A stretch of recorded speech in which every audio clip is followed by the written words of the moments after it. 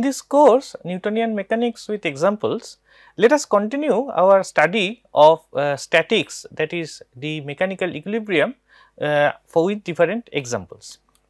In the uh, last few lectures, we reviewed the tension force and we sort of uh, told about uh, the, dif the different uh, properties of the tension force when it is uniform, when it is along the line uh, of tangent and so on.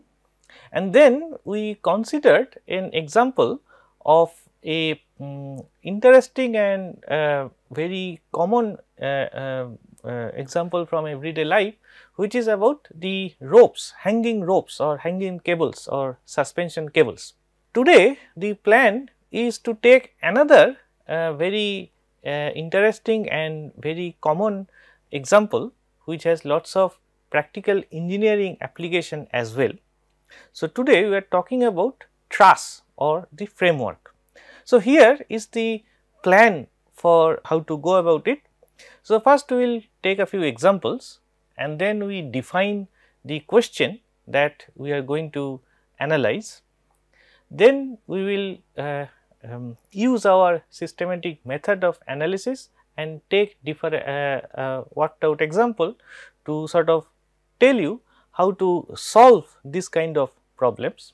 Then uh, we will consider a very important question which is that uh, under what condition we can determine these tension forces uniquely and uh, we will see that uh, this problem is really interesting because uh, this is uh, usually when we talk about truss we the things that comes to our mind are from mechanical engineering problems or civil engineering problems, but we shall take a very different uh, uh, uh, situation and example and we will show that this kind of analysis is kind uh, very generally applicable to other kinds of problems which you may not uh, is, uh, usually uh, think uh, in from your uh, engineering curriculum.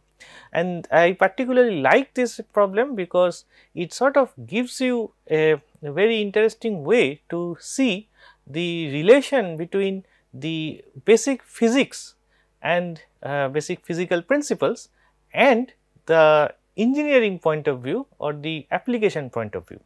So, let us start.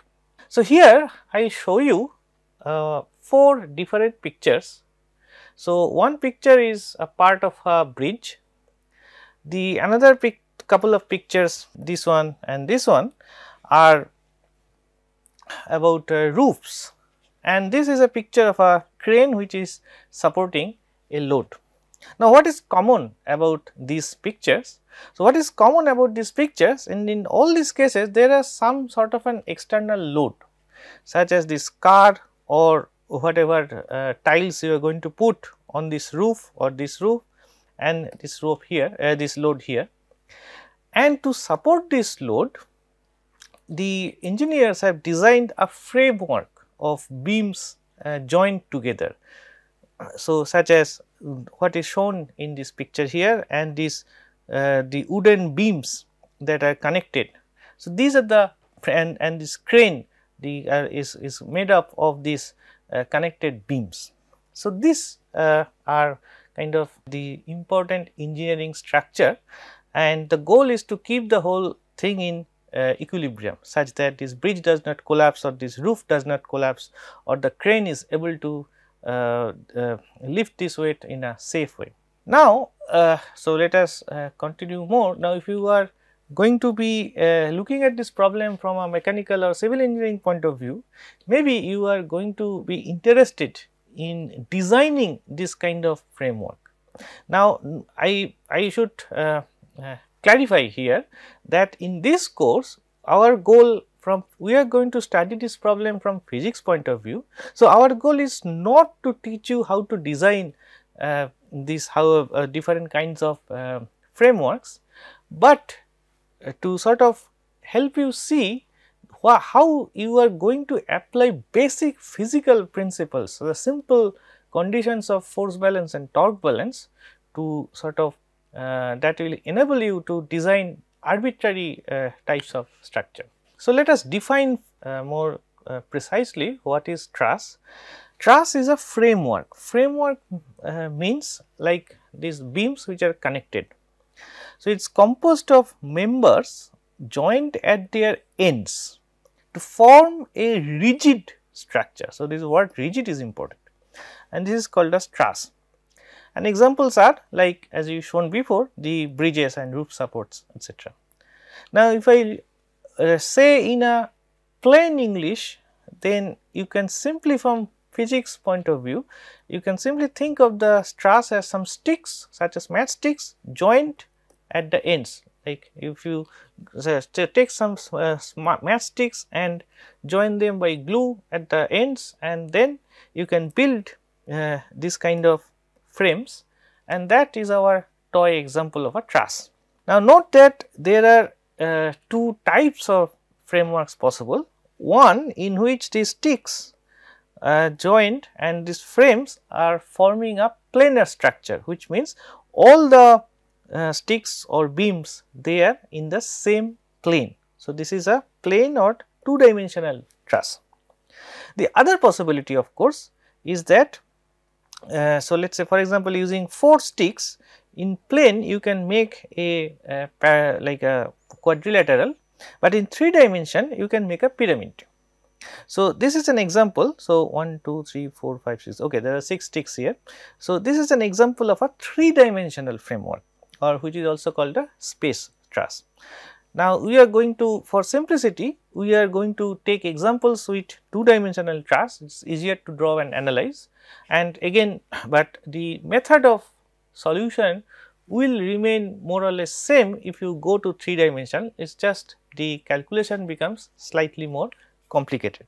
So, let us now define the question. So, what we are going interested in is that in a given we have considered this situation where there is some external load such as this car on the bridge and there is a structure such as this uh, framework of beams which makes this bridge.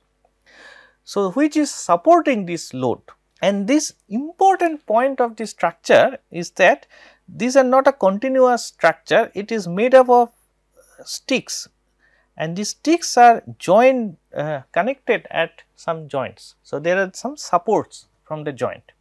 So, these are the three pieces. Now, we want to know that so, we want to analyze how this external load can be supported by this framework. So, such as the questions we can be interested in is that, so to support this load there will be some internal force or which we call the tension force which will appear in the beam. So, how much is the tension force in these beams and how much is the contact force at the joints. So, these are the two crucial uh, question uh, whose answer will determine the stability of such structures or rigidity of such structures. Now, of course, we need a few uh, assumptions to simplify our problem because in general will, it will be clear in a moment in general it is a difficult problem. Why what makes this problem difficult? So, these beams are actually a massive structure like if they are made of steels or irons they are massive heavy structures. But we are going to assume that these beams are massless. Now we have reviewed this uh, assumption in uh, previous uh, one of the previous lectures. So it basically means that there the external loads are quite high so that the weight of the individual beams uh, can be neglected compared to the load they support. So, this is a, a very simple assumptions because we saw that it sort of immediately it follows that the tension force along the beam is uniform throughout. So, we do not have to consider the uh, variation of the tension force along a beam. So, in that case you can sort of think of these beams as kind of a transmitter of force between two joints. The other assumption required to just to uh, very important assumption is that we are going to assume that their lengths are also fixed. So, the distance between two joints is always the same no matter what the external load is. So, there is no extension, no contraction, no any kind of deformation or crack or fracture or uh, some sort of a torsion or bending or twist, swing, swing in air etc. So, all these kinds of motions are possible for real uh, such structures and they are important like if you really want to build a such structure you want you want to consider all these important effects, but for our uh, analysis we are going to ignore those effects to make our life simple.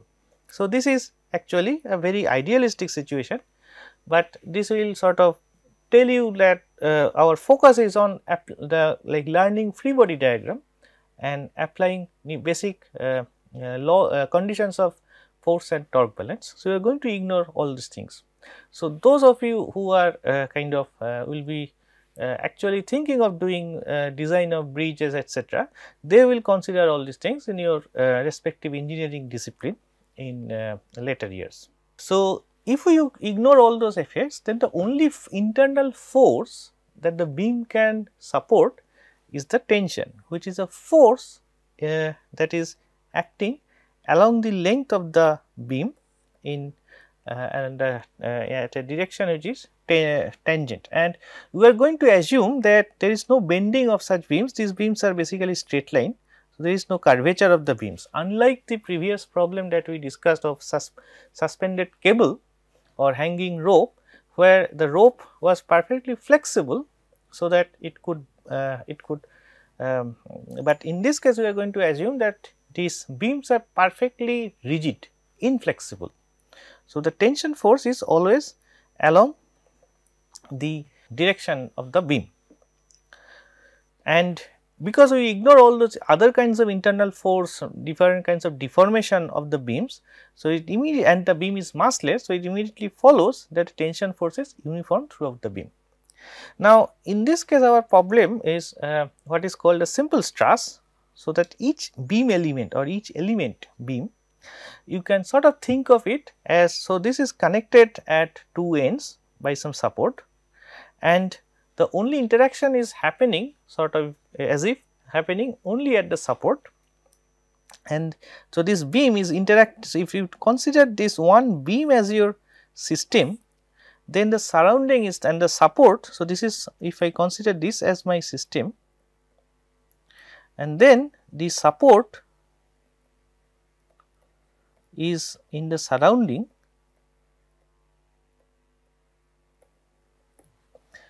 then the uh, the beam is interacting with the support at the end.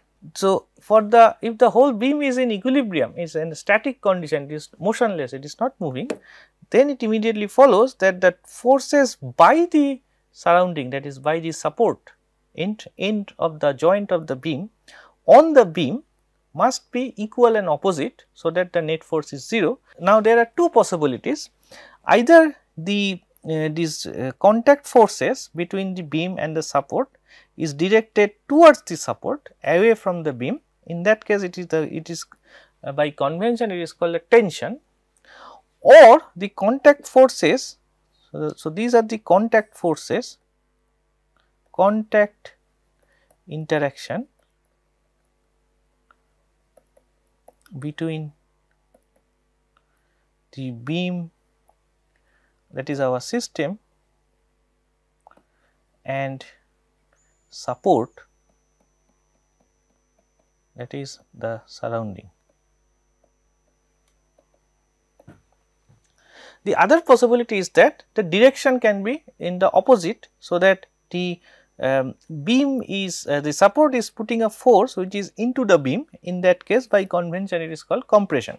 So, this is about the direction there are just two possible direction along the along a straight line and the uh, for the force balance the these two forces at the end must be equal and opposite. And the uh, other thing is that the so just to say it on the from the other point of view. So, in returns because these contact forces are in like real interaction. So, by Newton's third law if the forces are giving uh, contact supports are uh, exerting force on the beam in return by Newton's third law beams are also exerting forces on the on, on the supports or the joints. So, for example, uh, if I look at this diagram, so let us say there are uh, these two beams which are joined at this point uh, mm, at the at the support common support uh, uh, uh like which is also called a node. So, then the AB is the force by the node on this particular beam and um, sorry uh, the, uh, this uh, the this this force is the force on the beam by this joint. So, by Newton's third law there this this is the force which is the reaction force. So, this force is by the beam. This is a beam. And this force is on the beam. This is on the joint. And this is by the joint. So, they are action reaction pair. And we are going to also assume a crucial assumption that all the forces uh, that is if there are more than uh, two, two or more than two beams are connected at, at a common joint, then the line of action of all the force are passing through the same point. So, this is a simplifying uh, assumption. I mean the point is that in general this joint covers uh, some particular area, but we are going to replace it by a point. So, we are going to assume that the line of action of uh, all the tension or compression forces are passing concurrent. Now, the uh, second important point that we need to uh, keep in mind is that the contact forces and the torques uh, at the between the beam and the support it depends on the type of the joint. So, there are several different types of joint possible. For example, this type of joint that is shown in this picture is called a pin joint because this is a pivot point it is a common point and this beam is sort of so this red part is the fixed part of the support and this uh, blue is the beam and this is connect is kind of hinged at uh, one point as if uh, of the of the support. So, this is called a pin joint and again there can be two kinds of possibilities. So, for example, this joint can be kind of welded together in a way so that this beam cannot rotate. Uh, so, sorry, so let us consider the case where the beam can rotate. So, it is free to turn. So, in this case there is the beam you can see that it cannot support any torque. Because if you apply even a small amount of torque on the beam on, on the on the beam and the, then the beam will rotate. So, this type of joint uh, pin joint will not support any torque, but there will be some force. And this force in general is uh, can be uh, in in any direction which, which, so this force is a plane. So this this uh, uh, so this support is and the beam together they form a plane let us say the plane of the screen and uh, in general there will be two components um, and uh, uh, so, so, the deep, uh, so the, so this there will be a force and in general this force is unknown the other possibility is that the beam is kind of welded in such a way that it the beam cannot rotate. In that case the difference is that in that case not only there is a contact force, but also there could be a contact torque which is denoted by this uh, uh, quantity m the moment of the force m. Now, there could be other the another type of support is a fixed support such as this rod or beam which is inserted in some wall as if it can be also welded.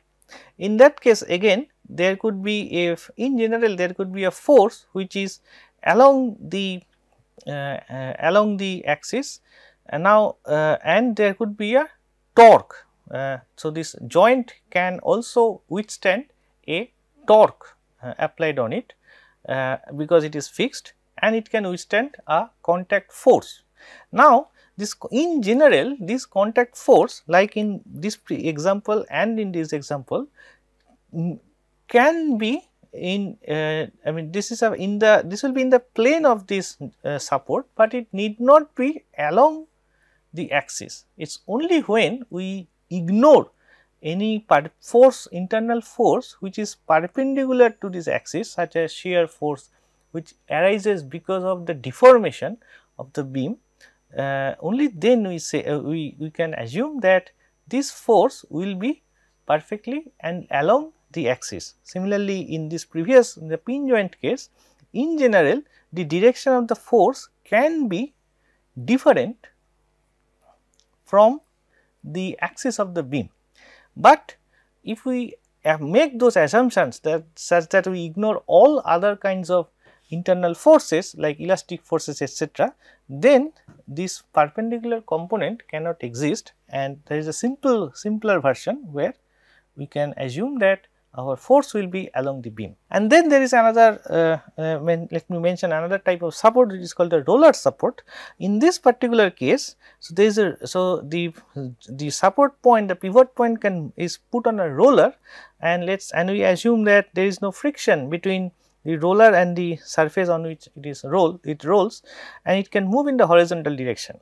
So, this kind of support the point is that it there can be only the force in the normal direction because any force in the horizontal direction in a direction in which the support can roll it will make the support roll. So, it will no longer be in a condition of mechanical equilibrium. So, this is a roller support which uh, can support only force normal to the supporting surface ignoring friction. So, these are some of the common type of uh, supports I mentioned because uh, it may be like you will encounter them in real life and various problems. So, given all these assumptions, uh, let us now uh, define the problem, understand the problem that we have, the nature of the problem or the type of the problem. So, what we have here is that this whole structure is at rest, is the first thing. So, we can apply, so it is in a statics problem, so we, a, we can apply the condition of force and torque balance. Now, the there are two rules that you uh, or two assumptions that uh, not assumptions. So, this basically it follows from the Newton's laws of motion if we apply the condition of force and torque balance is that on any single beam. So, no matter how complicated is your given structure or the framework total force on any single beam is 0 that is the first thing and the total force on any joint is also 0.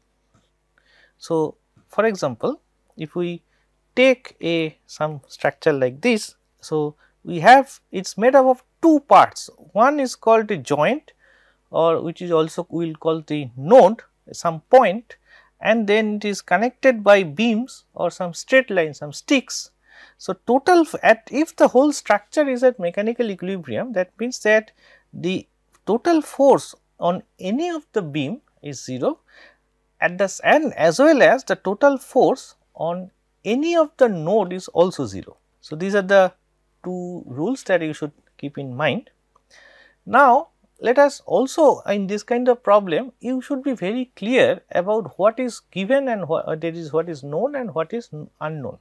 Usually in these problems the external loads are known so, you are going to design some structure with, with a which can operate within a given uh, load. And then the structure responds by generating the tension force along the beam. And these internal tensions are kind of uh, so these are essentially the contact forces at the uh, at the joint at the support. And these forces are unknown because the nature of this force, so this is a force, I emphasize this point again. So, this is a force contrasted to it something like a weight of the structure. So, if you know the mass of the uh, beam, then uh, or the mass of the whole structure, then the weight is always mass times the acceleration due to gravity. So, it is always known without doing any calculation, but the internal tension forces are unknown. And if we want to calculate those uh, unknown forces, we have to apply these conditions of uh, these uh, force and torque balance and uh, and solve those equations to determine those unknown forces. So, we shall continue taking a concrete example and apply this framework uh, in the next lecture. Thank you.